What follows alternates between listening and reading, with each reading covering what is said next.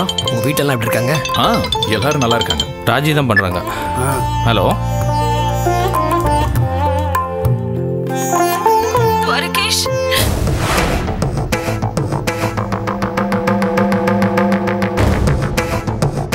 என்ன ராஜி?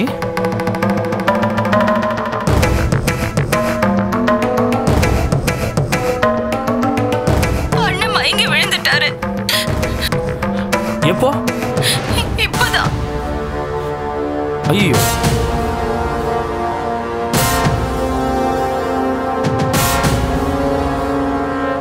என்னடா ஆச்சு எனக்கு ரொம்ப பயமா இருக்கு துவாரகேஷ்.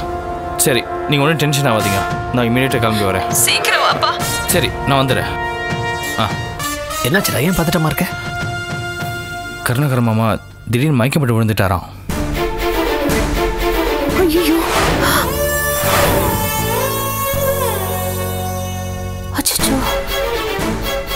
அவரை ஐசியூவில் வச்சுருக்காங்களாம். டாக்டர்ஸ்லாம் செக் பண்ணிட்டு இருக்காங்களாம் ராஜி ரொம்ப பதட்டமாக பேசிட்டு இருக்காங்க நான் போய் என்னன்னு பார்த்துட்டு வந்துடுறேன். டேய் இருடா நானும் வரேன். போய் என்னன்னு பார்க்கலாம். சரிண்ணா டேய் துவரகேஷ் இந்த விஷயம் ஸ்னேகாவுக்கு தெரிய வேண்டாம். நீ ஹாஸ்பிட்டலுக்கு போயிட்டு ஃபோன் பண்ணு. அப்புறம் பார்த்துக்கலாம். சரிப்பா வாங்க போகலாம் துவாரகேஷ் நானும் வாங்க. வாங்க.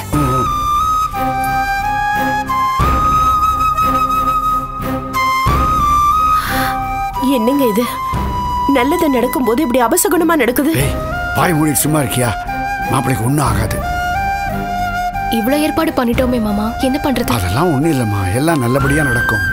மீனா இந்த விஷயம்லாம் ஸ்னேகாவுக்கு தெரிய வேண்டாம். அவகிட்ட போய் சகஜமாக பேசிட்டு இருங்க. சரிப்பா.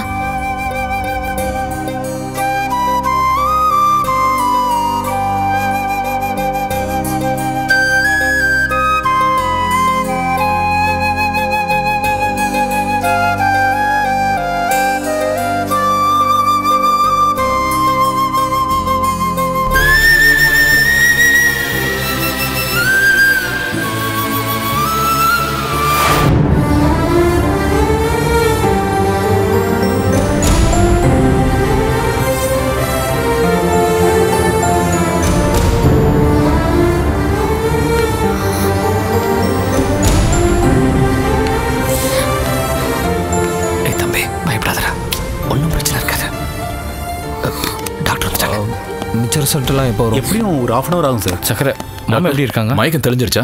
அப்பாவை பார்க்கலாமா? சாதாரண மயக்கம் தானே ஆபத்து ஒன்றும் இல்லையா டாக்டர்.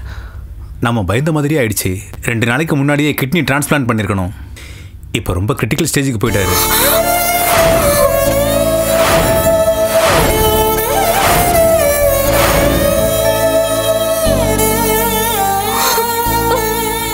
நாளைக்கு கிட்னி கிடைச்சா கூட ஆப்ரேஷன் பண்ணிடலாம். ஒரு ஹோப் இருக்குது ஆனால் டோனர் கிடைக்கணுமே. ஆப்ரேஷன் பண்ணுற வரைக்கும் அது டயாலிசிஸ் பண்ண முடியாதா? ரொம்ப கஷ்டம் சார் அவர் உடம்புல டயாலிசிஸ் தாங்குற அளவுக்கு சக்தி சுத்தமாக இல்லை. கிட்னி டிரான்ஸ்பிளான்ட் பண்ணால் மட்டும்தான் அவர் உயிரை காப்பாற்ற முடியும். ரத்தத்தில் உப்போட அளவு கொஞ்சம் கொஞ்சமாக இன்க்ரீஸ் ஆகிட்டே போகுது. அது ஆபத்து கட்டத்தை தாண்டறதுக்குள்ள நம்ம டிரான்ஸ்பிளான்ட் பண்ணி ஆகணும். அண்ணா ஸ்னேகா ஒரே நிமிஷம்.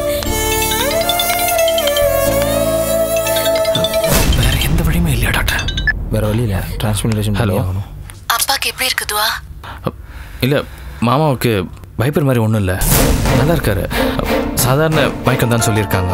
இல்ல நீ எதையோ என்கிட்ட மறைக்கிற. இங்கே பாரு நான் தான் சொல்லிட்டு இருக்கேன்ல மாமா நல்லா தான் இருக்காரு. அப்படியா? அப்போ நான் உடனே அங்க வரேன். நான் அப்பாவை பார்க்கணும். ப்ளீஸ் ஸ்னேகா ஏன் அவசரப்படுற? இங்கே பாரு உனக்கு தான் தேவையில்லாத அலைச்சல். நாங்கள் இத்தனை பேர் இருக்கோம்ல நாங்கள் பார்த்துக்குறோம் இல்ல துவா. உண்மையை சொல்லு. நல்லா இருக்கார்ல? இங்கே பாரு. ஒன்றும் இல்லை. நாளைக்கே வீட்டுக்கு கூட்டு போகலான்னு சொல்லியிருக்காங்க. என்கிட்ட சொல்லாம ஏன் கிளம்புனீங்க? என்னையும் கூட்டிட்டு போயிருக்கலாம்ல. இது நீ ஃபங்க்ஷனுக்கு ரெடி ஆகிட்டு இருந்தல அந்த கோலத்தில் அப்படி வர முடியாதுல்ல? அதான் நாங்கள் வந்துட்டோம். சரி சக்கரை அங்க இருக்காரா? சக்கரை இருக்காரு. கொஞ்சம் போனை கொடு. ஒரு நிமிஷம். அப்பாவை எப்படியாவது காப்பா சக்கரை இங்கே வாங்களேன். ஸ்னேகா லைனில் இருக்கா? மாமாவுக்கு ஒன்றும் இல்லைன்னு சொல்லியிருக்கேன். நீங்களும் அதே சொல்லுங்க. ஓகே. கொடுங்க.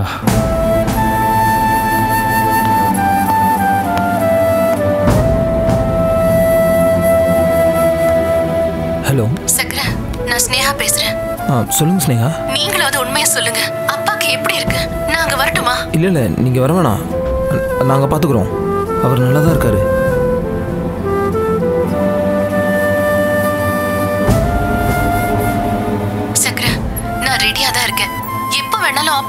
வச்சுக்கலாம் ப்ளீஸ் அதுக்கு ஏதாவது அரேஞ்ச் பண்ணுங்க. சொல்லுங்க சக்கர. இப்போ நிலைமை நமக்கு சாதகமாக தான் இருக்குது சார் ஒன்றும் மயக்கமாக தான் இருக்காரு. அவர் நினைவு திரும்புறக்குள்ளே ஆப்ரேஷன் தேட்டர் கூட்டிகிட்டு போயிடலாம். ஸ்னேகா எல்லாருமே சேர்மனை காப்பாற்ற தான் போராடிட்டு இருக்காங்க. அவங்கக்கிட்ட நீ தான் டொனேட் பண்ண போகிறேன்னு சொல்லிட்டா என்ன ஸ்னேகா? உனக்கு என்ன ஆச்சு சக்கர? விஷயம் தெரிஞ்சா துவாரகேஷ் எப்படி ரியாக்ட் பண்ணுவாருன்னு உனக்கு தெரியாதா?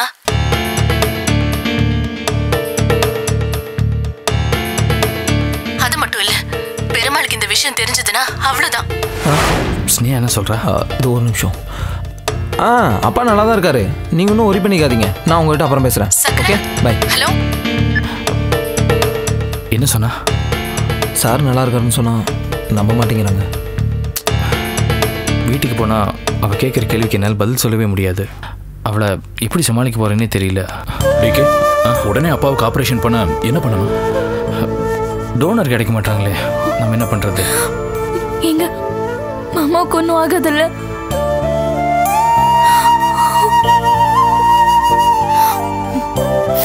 அண்ணே எவ்வளோ பணம் வேணும்னாலும் கொடுத்துடலான்னு எப்படியாவது டோனர் ரெடி பண்ணுங்க.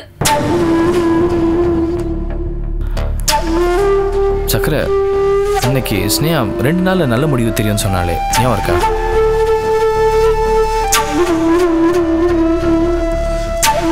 ஸ்னேகா எதை மனசில் வச்சுட்டு அப்படி சொன்னாங்கன்னு தெரில நீங்கள் வேணால் கேட்டு பாருங்கள் சார்.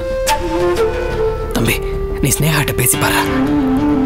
ஸ்னேகாவுக்கு தெரிஞ்ச டோனர்ஸ் யாராவது இருந்தாங்கன்னா அவங்க கையில் காலை வேண்டாவது நம்ம கூட்டு வந்துடலாம். கிட்னி டொனேட் பண்ண ஸ்னேகா தயாராக இருக்கான்னு சொல்லிடலாமா? அபார்ஷன் பண்ணது தெரிஞ்சால் துவரகேஷ் துடிச்சு போயிடுவார். ஸ்னேகா நம்மளை நம்பி சொல்லியிருக்கா. அவசரப்பட்டு இவங்ககிட்ட எதுவும் சொல்ல வேணாம்.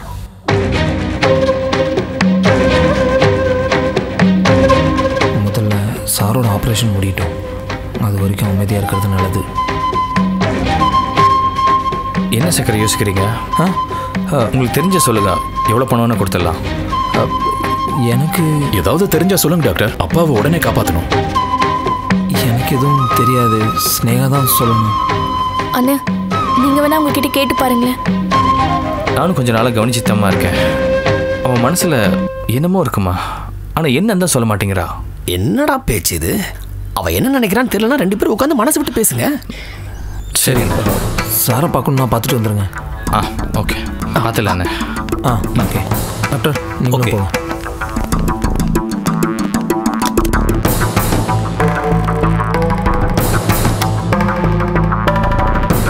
இதுக்கு மேலே டிலே பண்ணால் சாரோட உயிரை காப்பாற்ற முடியாது. ஸ்னேகா கிட்ட பேசி உடனே ஆப்ரேஷன் ரெடி பண்ண வேண்டியதுதான்.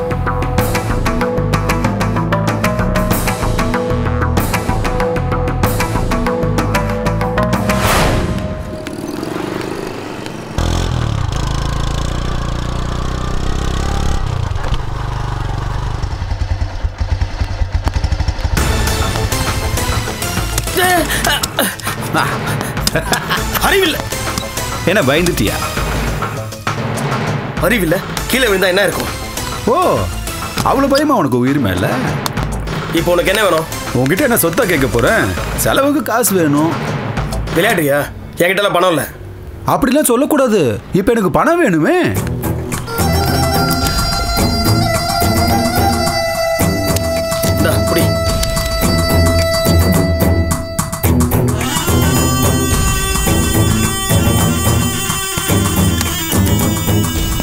என்னது இது? பணம். எவ்வளோ? நூறு ரூபாய் என்னை வச்சு காமெடி கீமெடி ஒன்றும் பண்ணலையே. பாரு. கொடுத்ததை வாங்கிட்டு இடத்த காலி பண்ணு. நான் உங்ககிட்ட நூறு ரூபாயா கேட்டேன். என்கிட்ட இப்போ அவ்வளோதான் இருக்கு. அதை உன் அக்கௌண்ட்டில் வச்சிருக்கிறியே. சொலையா அதை ஒரு பத்து லட்ச ரூபாய் எடுத்து கொடு.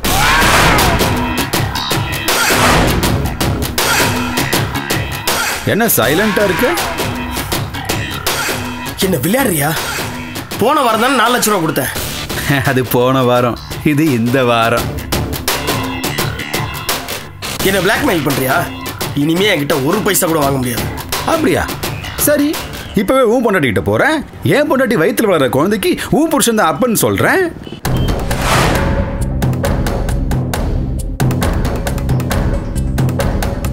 என்ன? நான் சொல்லட்டுமா? தப்பா நீ பண்றது கொஞ்சம் கூட சரியில்லை. நீ என் பொண்டாட்டியும் பண்றது மட்டும் சரியா? ஏ போட. பெருசா நியாயம் பேச வந்துட்டேன் இங்க பாரு உன்னால பணத்தை கொடுக்க முடியுமா முடியாதா? இப்பவே சொல்லு. முடியாதுன்னு வச்சுக்கேன் உனக்கு என் பொண்டாட்டிக்கு இருக்கிற கள்ள தொடர்பை ஊரு ஃபுல்லா போஸ்ட் அடிச்சு ஒட்டுவேண்டா இங்க பாரு பத்து லட்ச ரூபாய் கொடுத்துரு. உனக்கு எனக்கும் பிரச்சனையே இருக்காது. உன் பக்கம் தலை வச்சே படுக்க மாட்டேன். நாளைக்கே ஊருக்கு போயிடுறேன். ஜென்டில்மேன் அக்ரிமெண்ட் இப்படிதான்டா அன்னைக்கும் சொன்னேன் அன்னைக்கும் சரி இன்னைக்கும் சரி. ஒரே பேச்சு தான் என்னைக்குமே ஒரே பேச்சு தான் பத்து லட்ச ரூபாய் எப்போ கொடுக்க போற? இங்க பாரு நீ கேட்குற மாதிரிலாம் அவ்வளோ பணம் எல்லாம் கொடுக்க முடியாது. ஒரு நாளைக்கு பத்தாயிரம் ரூபா ஒரு வாரத்துக்கு இவ்வளோ தான் லிமிட்டட் தான் பணம் எடுக்க முடியும். அட போங்க சார். சார் சாதாரண பப்ளிக் வேணா பணத்தை எடுக்கிறது கஷ்டப்படலாம். நீங்க? பேங்க் ஆபீசர் நீங்க நினைச்சா பத்து லட்ச ரூபாய் கேஷ் எடுத்து கொடுக்க முடியாதா? பத்து லட்ச ரூபாய் கேஷ் வேணும் அதுவும் two thousand rupees currency notes உனக்கு சொன்னா புரியாது. அப்படியெல்லாம் எடுக்க முடியாது. ஏன் பொண்டாட்டி கர்ப்பமாக்க தெரியுது? பேங்க் ஆஃபீஸர் கரெக்ட் பண்ணி பத்து லட்ச ரூபாய் பணம் எடுக்க முடியாதா?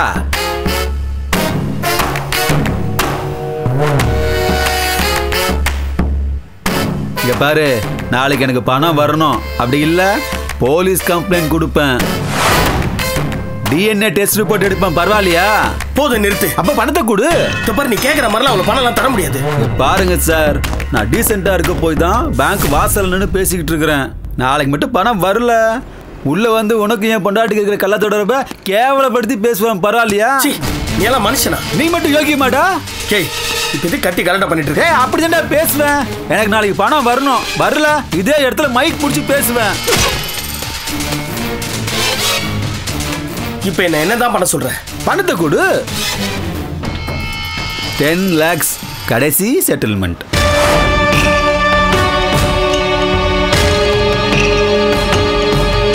அதுக்கப்புறம் உன் பக்கம் தலை வச்சே படுக்க மாட்டோம் நானும் என் பொண்டாட்டி எங்கேயாவது வெளியூர் போய் கூலி வேலை செஞ்சாது போச்சுக்கிறோம். என்ன?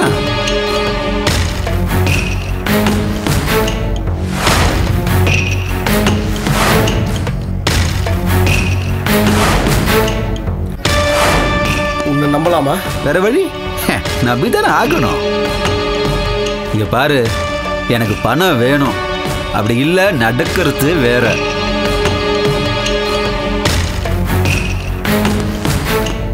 ஆ மறந்துடாத. நாளைக்கு வீட்டுக்கு பணத்தோட வர. பத்துமா?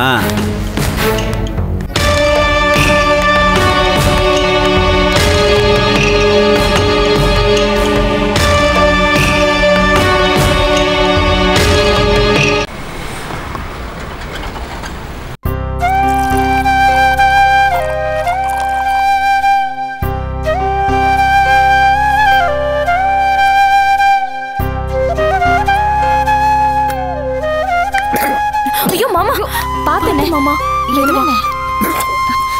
பார்த்து. ஸ்னேகா என்ன நினைக்கிறான்னு நினைக்கிறம்மா. ராஜி இன்னும் கொஞ்சம் தண்ணி கொடுமா. ஐயோ போதும்ண்ணே. இதுக்கு மேல குடிக்க கூடாது என்னம்மா வாழ்க்கை இது? தாகத்துக்கு தண்ணி கூட குடிக்க முடியல. ரொம்ப கொடுமையா இருக்குமா? ஒரு பாட்டில் தண்ணி எடுத்து மடக்கு மடக்குன்னு குடிச்சிட்டு செத்து போயிடலாமான்னு தோணுதுமா? அண்ணே. என்னண்ணே இப்படி எல்லாம் பேசிட்டு இருக்க சுஷ்மா கல்யாணத்தையும் ஸ்னேகா குழந்தையும் பார்க்கறதுக்காக தாம்மா உயிரை கையில் பிடிச்சிக்கிட்டு இருக்கேன் இல்லைன்னா எப்போ போய் சேர்ந்துருப்பேன். மாமா இன்னும் ரெண்டு மூணு நாளே டோனர் கிடைச்சிருவாருன்னு துவாரகேஷ் என்ன சொன்னாரு. மாப்பிள்ளை என்னம்மா பண்ணுவார் பாவம். அவரும் அலைஞ்சிட்டு தான் இருக்காரு. நான் ஒரு அதிர்ஷ்டம் கெட்டவன் ராஜி. அந்த மகராசி கஸ்தூரி இருக்கிற வரைக்கும் அவ அருமை எனக்கு புரியாம போச்சு. இத்தனை வருஷமா பெத்த மகன் என்னை ஒதுக்கி வச்சிருந்தா? இப்ப எல்லாமே கை கூடி வர நேரத்துல எனக்கு இப்படி ஒரு நோய். போன ஜென்மத்தில் என்ன பாவம் பண்ணணும் எனக்கு தெரியலம்மா.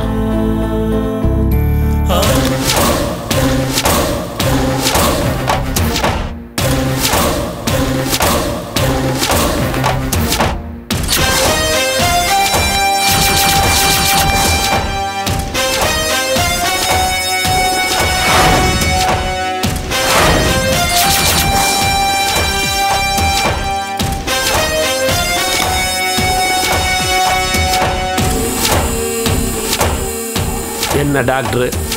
நல்லா இருக்கிறீங்களா?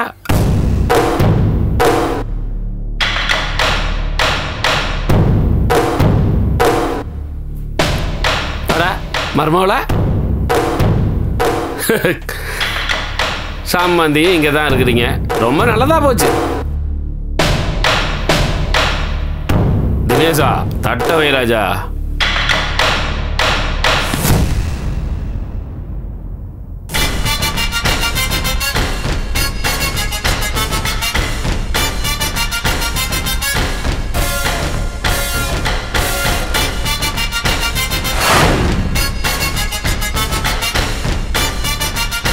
என்ன ராஜு?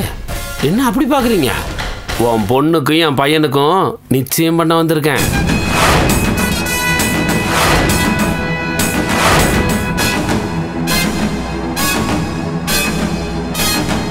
டென்ஷன் ஆகாது ராஜு. நல்லா யோசிச்சுப்பாரு இன்னும் ஒரு வாரம்.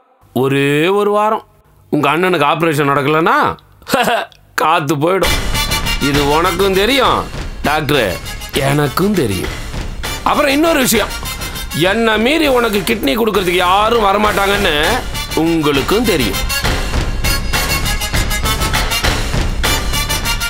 மருமவள உன் பிடிவாதத்துல உன் மாமனுக்கு நீயே யமனாயிடாத. இல்ல நான் தெரியாம தான் கேக்குறேன். என் பையனுக்கு என்ன தான் குறைச்சல்? நீ என் பையனை கட்டிக்கிறேன்னு சொன்னேன்னு வையே. மாமா உனக்கு என்ன கல்யாண பரிசு கொடுப்பேன் தெரியுமா? ஏ அது என்னடா சொல்லுவாங்க? ஆ. டோனர்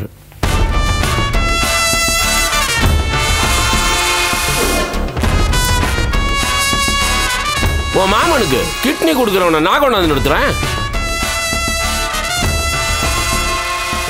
பெருமாள் சொன்ன வார்த்தையை காப்பாற்றுவான் உங்கள் பொண்ணை என் பையனுக்கு கட்டி வைக்கிறேன்னு மட்டும் சொல்லுங்க.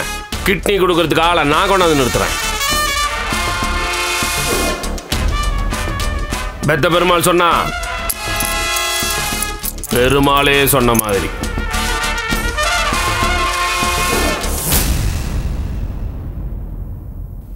ராஜு தட்டு நிறைய படம் எடுத்துட்டு வந்திருக்கேன். சம்மதம்னா எடுத்துக்கோங்க. டாக்டர் தட்டை இன்னைக்கு எடுத்தா பழம் நாளைக்கு எடுத்தா பால்.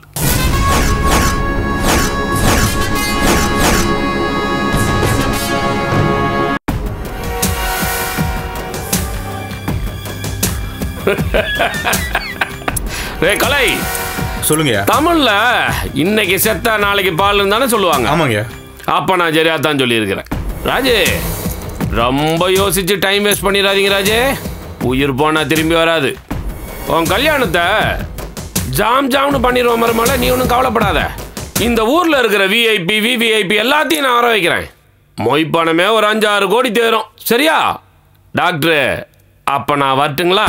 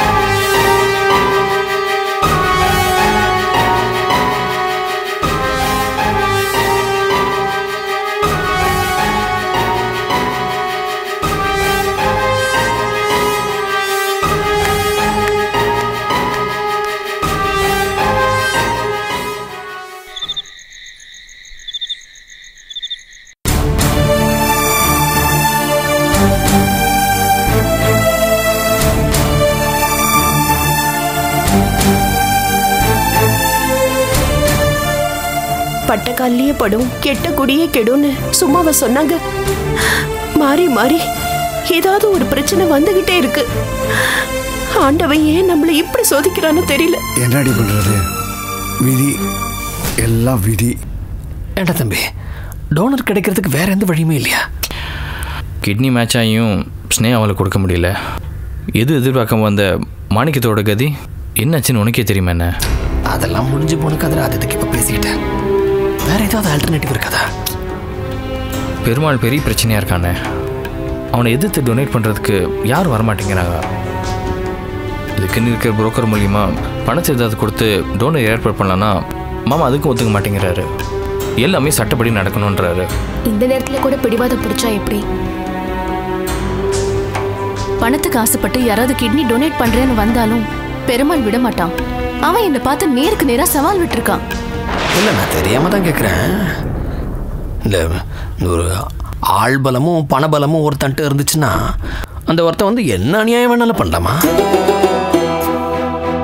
ஆ? அவனை யாரும் தட்டி கேட்கவே முடியாதா? நம்ம எல்லாரும் அவன் பண்ற அநியாயத்தெல்லாம் பார்த்துட்டு கையை கட்டி வேடிக்கை பார்த்துட்டு இருக்கணுமா?